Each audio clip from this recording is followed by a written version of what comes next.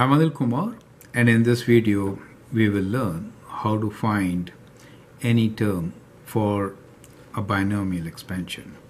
The question here is find the sixth term in the expansion of x minus 2 to the power of 9. Now general formula is tr plus 1 right.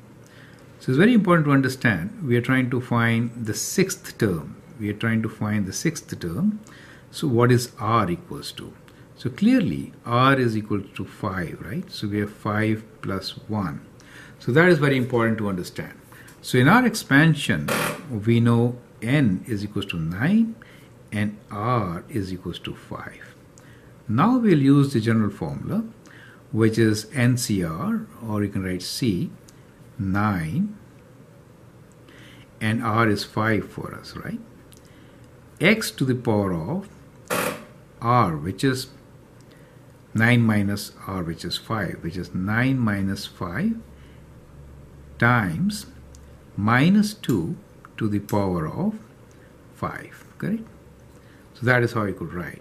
So whenever we have negative either you could write minus 1 to the power of 5 or you could include include it right? That's better. So that gives us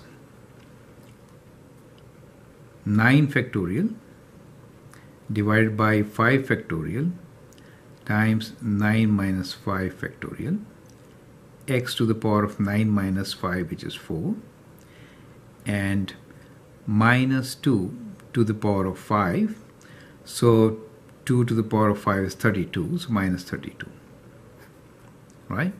So let's simplify this. Uh, 9 factorial and this is uh, 4 right?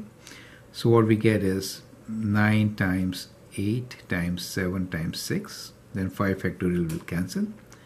And here we have 4 factorial 4 times 3 times 2 right?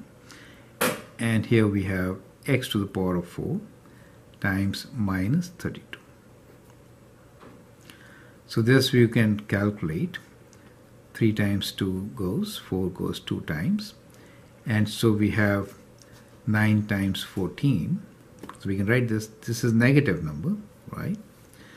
9 times 14 9 times 2 times 7 times 32 times 32 equals to 40 32 40 32 x to the power of 4 right?